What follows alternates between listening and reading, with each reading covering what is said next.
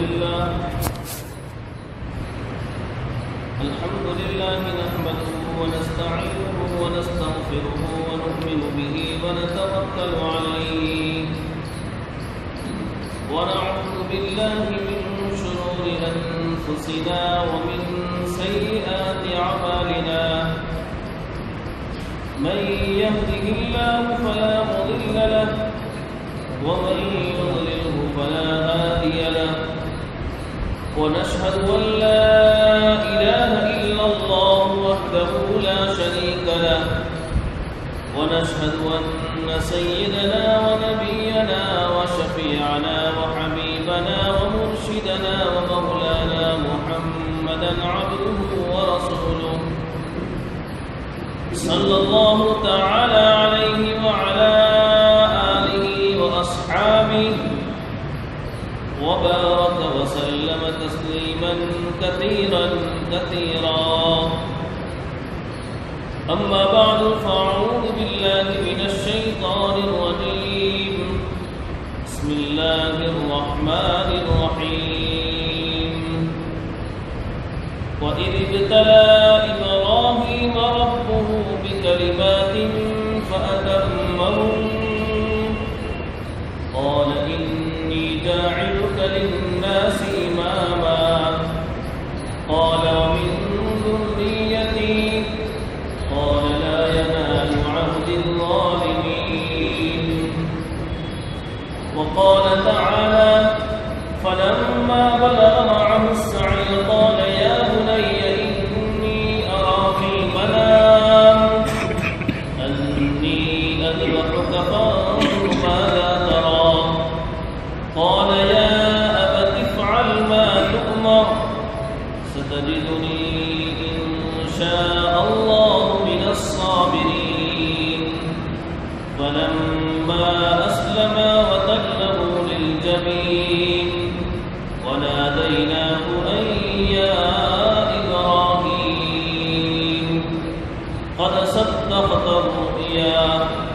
صدق الله العظيم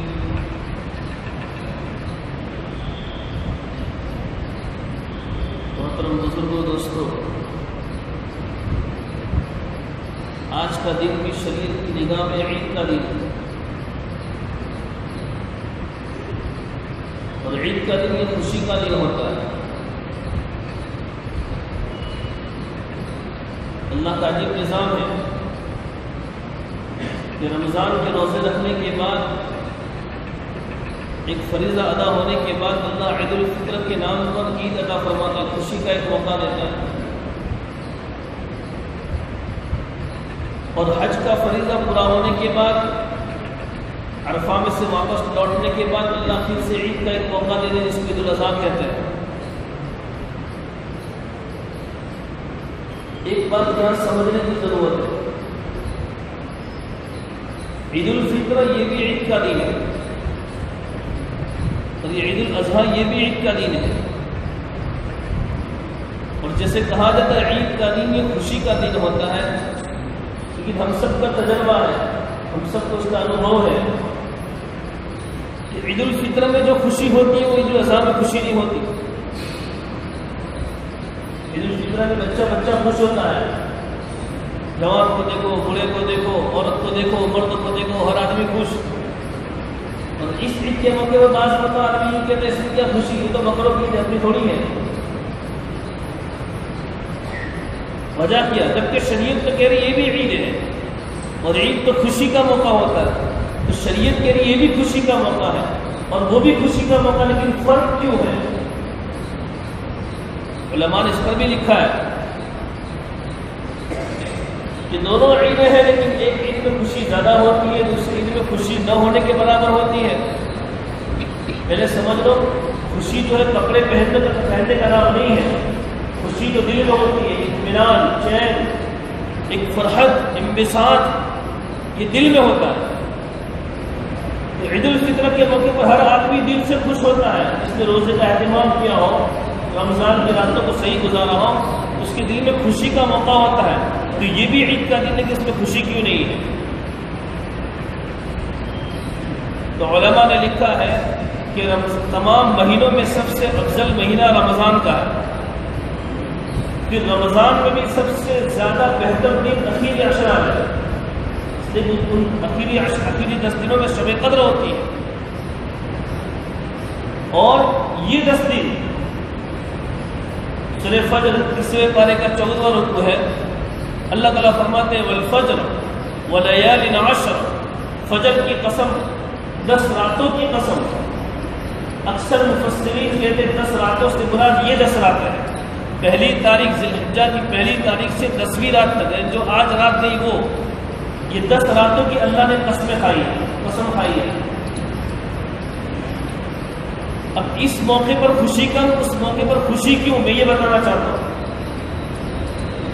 تو وہ دس دن جو ہے یعنی رمضان کا مبارک مہینہ آدمی نمازوں میں گزارتا ہے، روزوں میں گزارتا ہے، رات کو کھڑے ہو کر قرآن کو سنتا ہے۔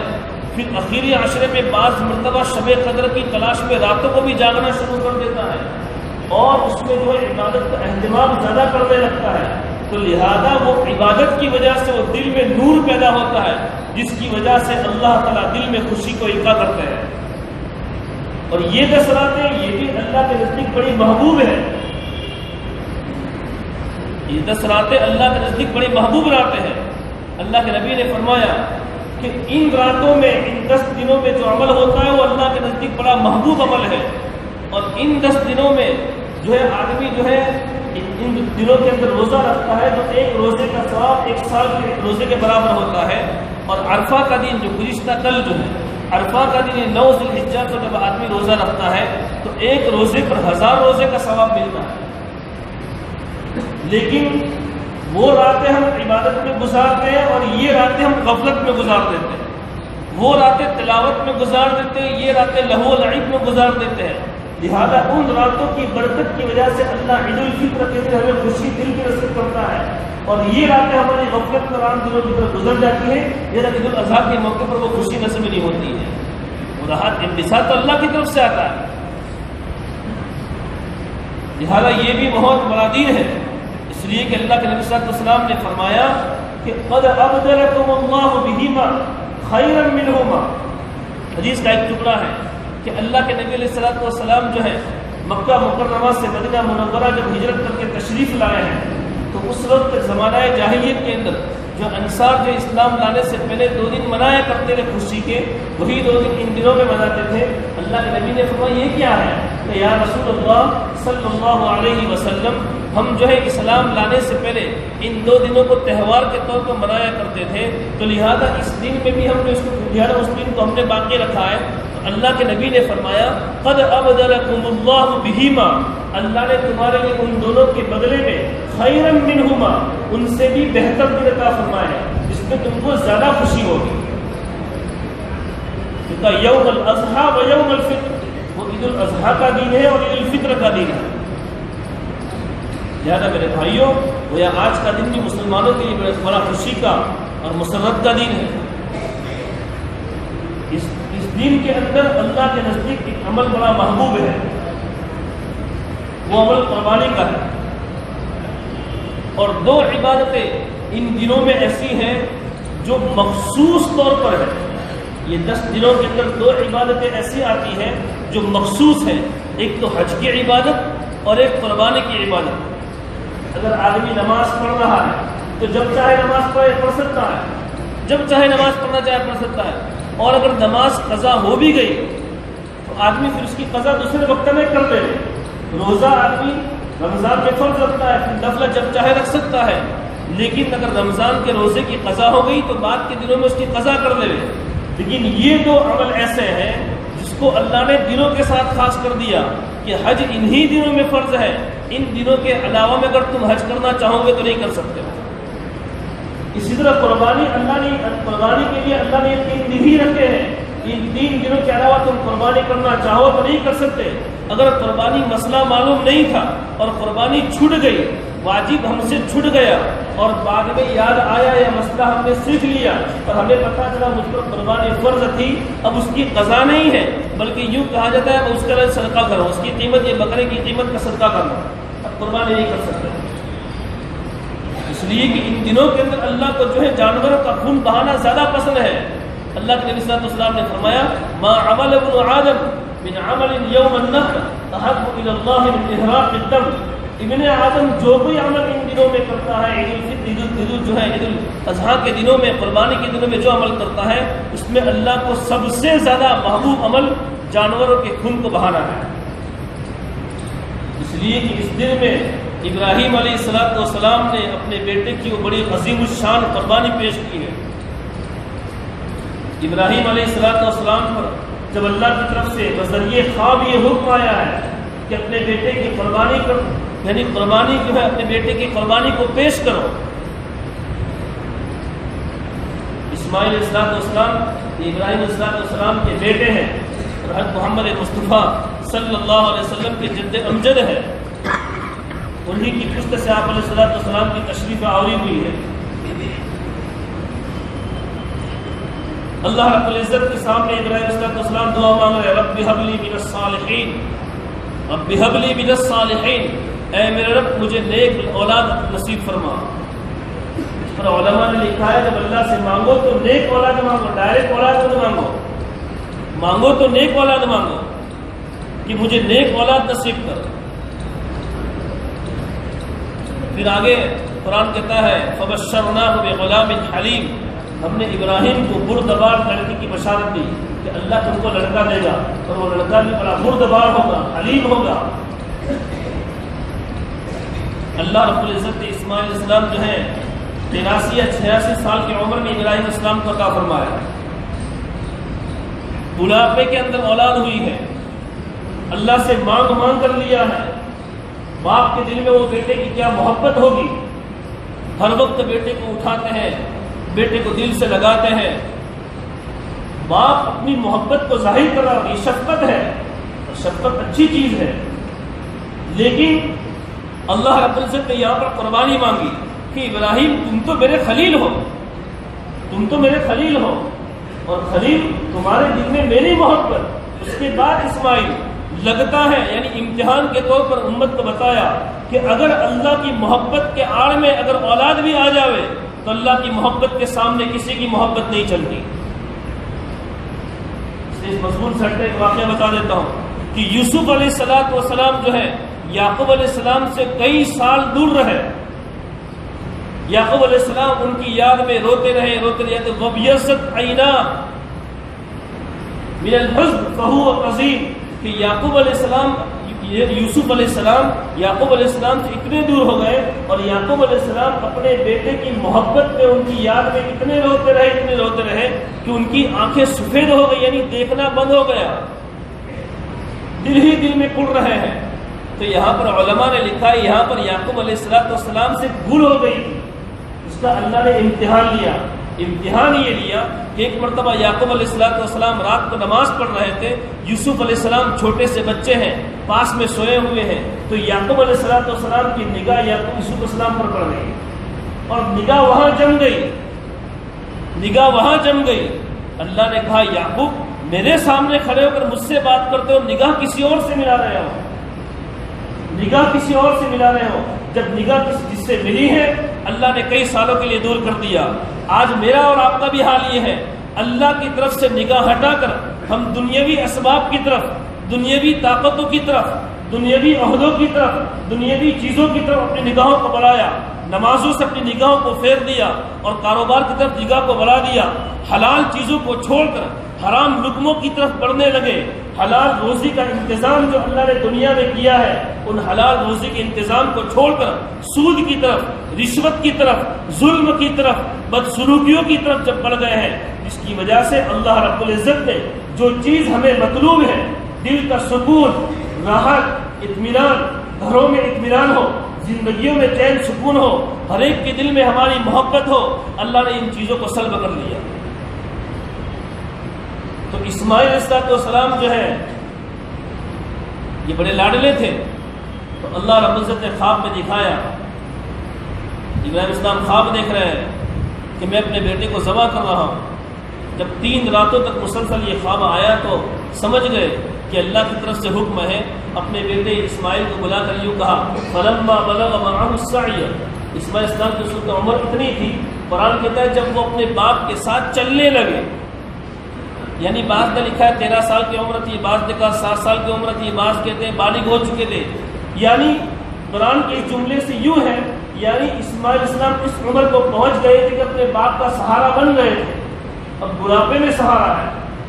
ایسے موقع پر اللہ کی طرف سے حکم آیا تو اسماعیل اسلام کو ابراہیم نے یہ کہا، فلما بلغ معه السعي قال يا بني اني ارى في المنام۔ محبت کے ساتھ کہہ رہے ہیں، ایک تو عربی میں ہی جملہ ہوتا ہے۔ یا بنی انی ارى في المنام، بیٹے میں تجھ کو جو ہے جو ہے خواب میں دیکھ رہا ہوں کہ تجھے سبا کر رہا ہوں۔ قرآن کہہ رہا یا بنی، اے میرے پیارے لختے جگر۔ اے میرے پیارے لختے جگر، میں خواب میں دیکھ رہا ہوں کہ میں تجھے ذبح کر رہا ہوں۔ انی انبہک فنظر ماذا کرا بتاؤ، تمہاری رائے کیا ہے اس میں؟ بیٹے سے پوچھا جا رہا ہے۔ تو بیٹا کیا کہہ رہا ہے؟ قال، یا ابت فعل ما تؤمر۔ اسماعیل نے اپنے باپ کے سامنے یہ بات رکھی، یا ابتی، اے میرے ابا، افعل ما تؤمر، اللہ نے جس کام کا تمہیں حکم دیا وہ کام کر دو۔ جب گھروں میں دین کا ماحول ہوتا ہے، بچوں کی صحیح تربیت ہوتی ہے، بچوں کو قرآن کی صحیح تعلیم دی جاتی ہے، بچوں کو دین کا صحیح علم دیا جاتا ہے۔ اسلام دنیاوی علوم سے منع نہیں کرتا ہے کہ انگلش کو مت پڑھو، انجینئر مت بنو، ڈاکٹر مت بنو۔ بلکہ ہماری کتابوں میں تو مسئلے بھی ہیں، بلکہ بہت سی چیزیں ایسی ہیں جو اسلام نے رائج کر کے دی ہے یہ پولیس کا محکمہ دنیا میں پہلے نہیں تھا، یہ ڈپارٹمنٹ پہلے دنیا میں نہیں تھا۔ سب سے پہلے عمر کے خطاب کے زمانے میں اس کو وجود دیا گیا۔ ہے مستقل ملٹری کا نظام جو ہے فورس کا نظام مستقل نہیں تھا۔ یہ حضرت عمر نے اپنے زمانے میں اس کو رائج کروایا ہے۔ جب آپ آدمی سروس میں جاتا ہے تو وہاں پر جو ہے اپنی حاضری دینی پڑتی ہے، وہاں پہ سائن کرنی پڑتی ہے۔ یہ پہلے نہیں تھا۔ عمر نے اپنے زمانے میں اس کو رائج کروایا ہے۔ ہم نے اسلام کے اگر ہم تاریخ اور اتہاس کو پڑھیں گے پتہ چلے گا اسلام نے دنیا کو کیا دیا ہے۔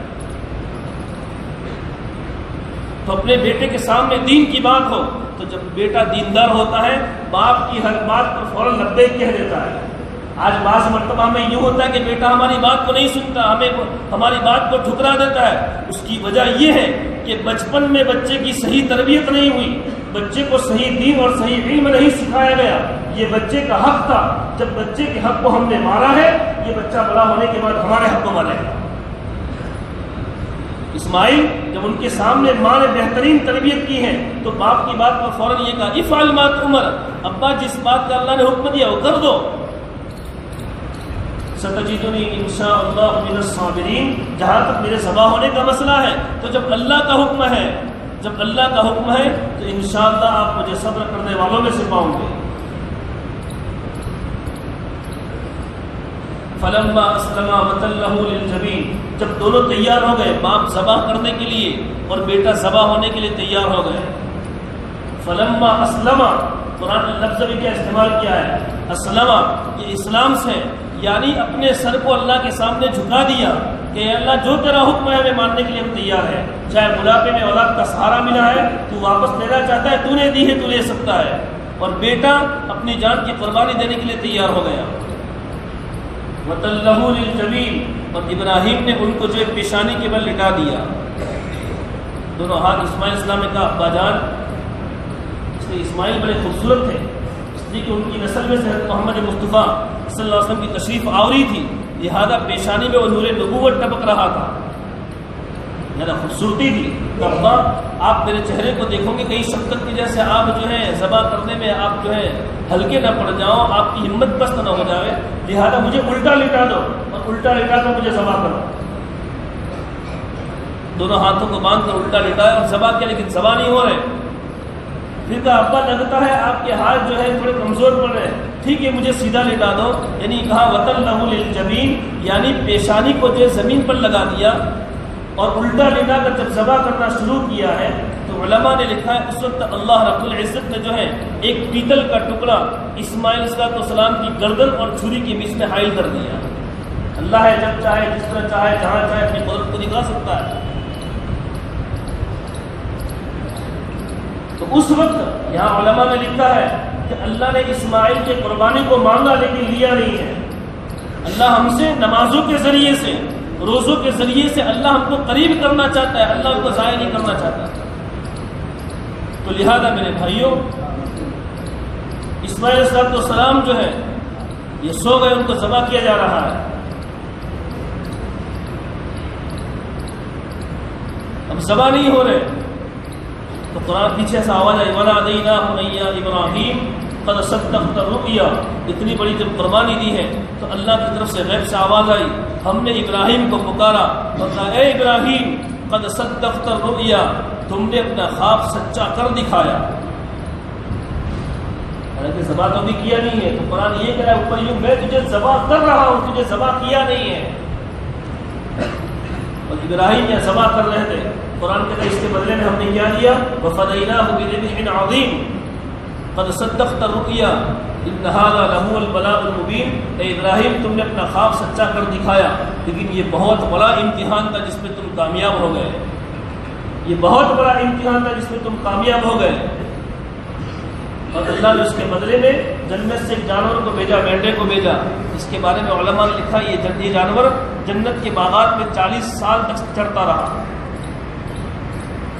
خیر، تو میرے بھائیو، اس قربانی اسماعیل صلاحت السلام اور ابراہیم کی جو قربانی ہے، اس قربانی کے بدلے ان کی یاد میں اللہ رب العزت ہمیں یہ دن عطا فرمایا ہے۔ لہذا ہمیں بھی جتنا ہو سکے، ہم پر اگر قربانی واجب ہے، قربانی اگر ہم پر واجب ہے، اس شخص کے پاس، جس کے پاس چھ سو بارہ گرم چاندی یا اس کے یا ساڑھے سات تولہ سونا یا چھ سو بارہ گرام چاندی کے برابر پیسے ہو یا اس کے گھر میں ضرورت سے زائد تین جوڑی سے زیادہ کپڑے ہوں، ضرورت سے زائد جوتے ہو ضرورت سے زائد گھر میں وہ برتن ہو جو سال بھر میں استعمال میں نہ آتے ہو تو بہت ساری چیز جو شوکیش میں رکھی جاتی ہے جس کا کوئی استعمال نہیں ہوتا ہے یہ کتنی ضرورت سے زائد چیزیں ہیں۔ ان ساری چیزوں کی قیمت ملانے سے چھ سو بارہ گرام چاندی، تقریباً سمجھو اگر چالیس ہزار کا بھاؤ ہو، تو چھ سو بارہ گرام چاندی قیمت ہوتی ہے، چوبیس ہزار چار سو سے کچھ قیمت ہوتی ہے۔ یعنی جس کے پاس چوبیس ہزار کے برابر اس کے جو قریب قریب جو قیمت ہوتی ہے، اس کے برابر آدمی کے پاس اتنا پیسہ، چاندی یا اتنا جو ہے، اتنے جو ہے ضرورت سے زائد جو سامان ہے، سب کی قیمت ملا کے اتنی قیمت پہنچ جاتی ہے، اس پر قربانی واجب ہے۔ تو لہذا ان دنوں میں قربانی کو کرو۔